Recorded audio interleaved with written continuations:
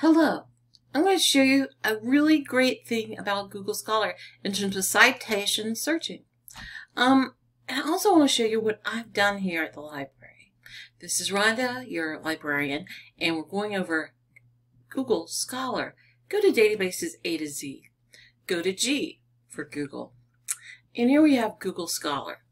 What I've done is set this up so that it can find full text. If you've used it before, you're probably like, why is this here? This is a very helpful for me because it just takes me to a paywall. Well, it will not do that anymore. Um, let me just try something I have up here. Lived experience and religion. Look over here. You can actually narrow things down. This is composed of primarily scholarly articles. Uh, probably you have quite a few for your final project right now, but if you end up needing more, come here, or if you're working another class. Do you see here where it says Big Bend full text? These should be, about 85% of them, available in our databases. It works over on top of our databases and will take you to the place that has it. Here, I don't see that this one is true. So I'm, gonna, I'm always going to keep my failures in there. So I would ask a librarian where it might be. And here we will find out if it gives us something. It lets us know it's in these different databases. And we can click here and go to that article. The other one we could put on interlibrary loan. But one of the main things I wanted to show you about uh, Google Scholars, you can do citation searching. So suppose this was really quite a great article for me. Um, it was written in 2000. It's been cited 267 times. That's pretty awesome for a, a for this topic in this particular discipline. So I did that so fast. So what I want to do is look at those 267. I may not be able to get to them all. You can always request these on Interlibrary Loan. But see, if you click on this, you're going to get a paywall. If you click on this, you're going to be able to go to a place that it is sheltered. And here it is available to you in full text. So I want to make sure you understand if you go to the title, you'll hit a paywall. If you go over here, you're going to find a place to find it for free. Here, Big Bend CC, full text.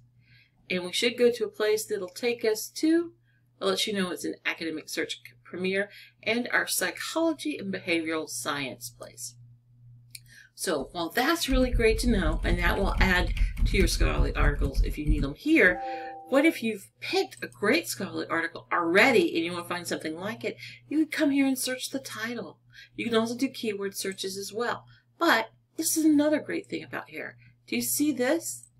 This is a quotation. These are not often right, but sometimes they'll have quite a few pieces that you might not have been able to find. These are books, and um, we're not really using books. Let me see if I can find something else. Oh, here.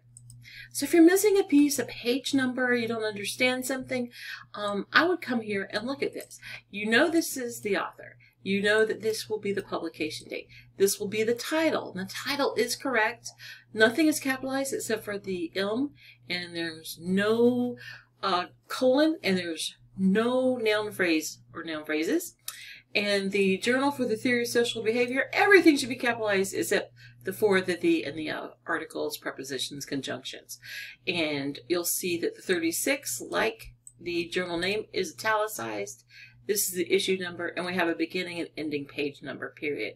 And sometimes if you can't find something or you've lost something in your notes, this is a place to go. It's not going to be correct, usually, but it's going to be really close, and you can use it. So, Google Scholar useful for you actually finding full text scholarly materials instead of going through all the databases on um, the database list looking for a scholarly article. You could just come here and it'll search a couple of them for you. Also, you can find out if you find one good article, you can find who cited it and may be able to find other articles. And here, you can figure out how to cite something to some degree. And a lot of times this has been helpful for me in terms of finding page numbers. So, those are the great things that you should know about Google Scholar and it may or may not be helpful for you at this point in this class, but I know it's going to help you in the future.